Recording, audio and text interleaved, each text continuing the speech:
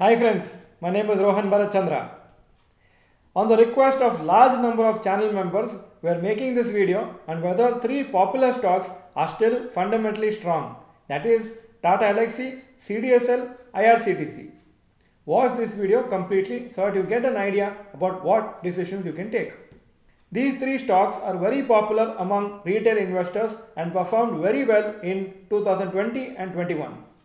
However, they have underperformed in 2022 and many investors are currently facing a notional loss in their investment in these companies. So let us briefly examine whether their fundamentals are intact so that it will help investors take the decision on what to do with the stocks they hold. First company, Tata Elxsi. July to September 2021, total sales 595 crores, October to December 2021, 635 crores, then 2022, March 682 crores, June 2022, 726 crores, and September 2022, 763 crores. Net profit 125 crores, 151 crores, 160 crores, 185 crores, and 174 crores. If you see here, the sales has been increasing consistently and the net profit has also been increasing except for the last quarter. So why Tata Elxsi shares have fallen? Number one, lower than expected quarterly profit. Although the September 2022 quarter results were quite good, it was below expectations since Tata Elxsi had been doing very well over the last few quarters. The net profit growth was good compared to September 2021, however, compared to June 2022, it was marginally lower. Its profit margin has fallen in the September 2022 quarter. Since the profit had been growing continuously for almost 6 quarters, a small fall in profit in September 2022 quarter has been seen negatively by investors. Point number 2 Negative effect of high valuation. Tata Elxsi was trading at P ratio of around 99 in August 2022. Usually, when valuations are high, it means investors are expecting high growth in revenue and profits. Even if there is a marginal fall in the business, then investors find a reason to do profit booking. Now, after so much of fall, the PE ratio is around 58. It is still high compared to the sector PE ratio of 33. Many brokerage companies have given a sell rating for the stock due to expected slowdown in Tata Elxsi's business in Europe and US because of recession. However, the overall fundamentals of the company still look quite strong, although there could be weakness in the business in the short term due to recession or slowdown. This Sunday, we have a free webinar on our stock market online course in Kannada. This webinar will give you all details about our course on fundamental analysis, technical analysis, and overall financial planning. If you want to plan for your children education, children marriage, retirement, to purchase your own house, you need to invest correctly in the stock market. Our workshop will be the basic fundamentals for you to develop more knowledge about stock markets. The webinar is on 15 January Sunday, 10:45 am to 1 pm. It will be online. To receive the link for the free webinar, please email successdigest at gmail.com with your name and mobile number and email subject as Kannada webinar.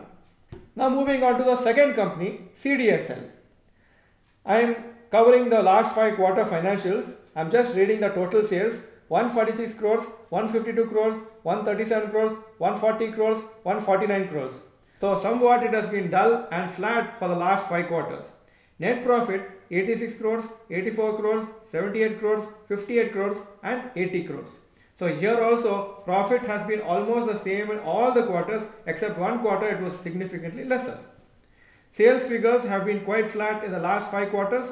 Net profit also marginally fallen on a quarter on quarter basis.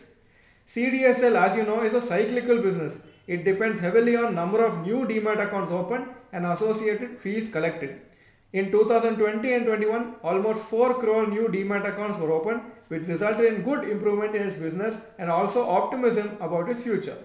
However, in 2022, the new demat account opening has slowed down and hence the business and sentiments towards the stocks has become dull. CDSL is a leader in its sector. Over the years, there is no doubt that the number of people investing in stock markets in India is going to significantly improve and hence its business is expected to benefit from this attraction to invest in financial assets that is stocks, bonds, etc. compared to physical assets such as real estate or gold. Now moving on to the third company, IRCTC.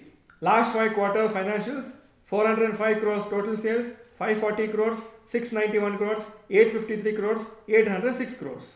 Net profit 159 crores, 209 crores, 214 crores, 246 crores, 226 crores. So the sales growth has been good and it has been improving almost every quarter and also the net profit has been doing quite well. It has been growing on a quarter to quarter basis except for the last quarter that is July to September 2021 when the sales and profit had fallen compared to the previous quarter but overall it has been good. IRCTC is a monopoly created by the government. Its business will keep growing until it has competition. It may get negatively impacted if and when government allows competition in its sector. As you know, generally public sector units have a poor long-term record in Indian stock markets. So far, IRCTC is an exception and it has done quite well for its investors. If it manages to create wealth for investors in the long term, it will be a rare PSU company. Currently, government owns around 62% in IRCTC.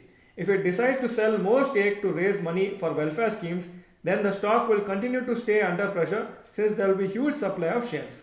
This is one negative of IRCTC and we need to be careful about this. Although IRCTC's fundamentals seem good, there will always be some uncertainty since it depends heavily on government policies and decisions.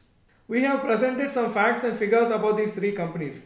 It is your decision to consider them and also to do further research so that you can come to a conclusion on whether to buy, hold or sell these stocks. Our idea is to make you do further research. Our idea is to do some research on behalf of you and the rest, the decision has to be yours. And if you would like us to make such videos, then type in the comment section saying more videos so that we will know that you like such research based videos. Thank you for watching this video. Bye bye and all the best.